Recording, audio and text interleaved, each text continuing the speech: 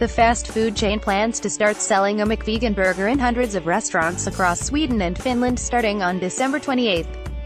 The sandwich, which has already been tested at a handful of McDonald's locations in Finland, consists of a soy patty, bun, tomato, lettuce, pickles, onion, ketchup, mustard, oil and an eggless sandwich sauce.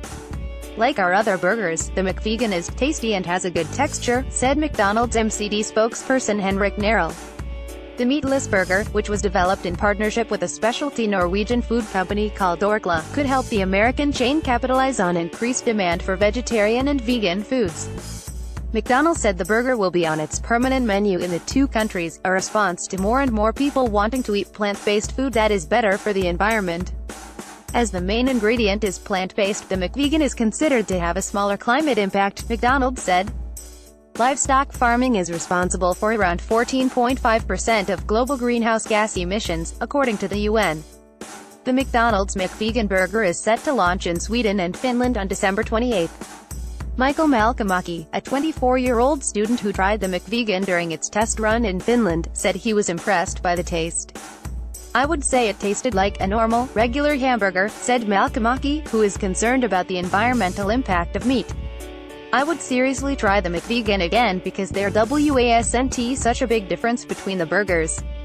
The McVegan burger was created through a McDonald's collaboration with Orkla, a Norwegian food company.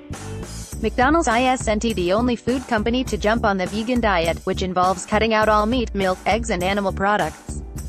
Nearly 10% of new food launches in Sweden this year were vegan items, according to research firm Mintel. That's up nearly eightfold from 2012. Nestle NSRGY announced in September it was buying the specialty food company Sweet Earth, which makes vegan and vegetarian burritos and burgers.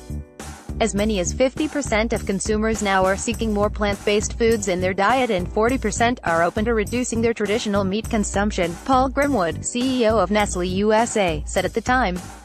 Global sales of vegan-labeled foods increased by nearly 8% last year to $12.8 billion, according to research firm Euromonitor.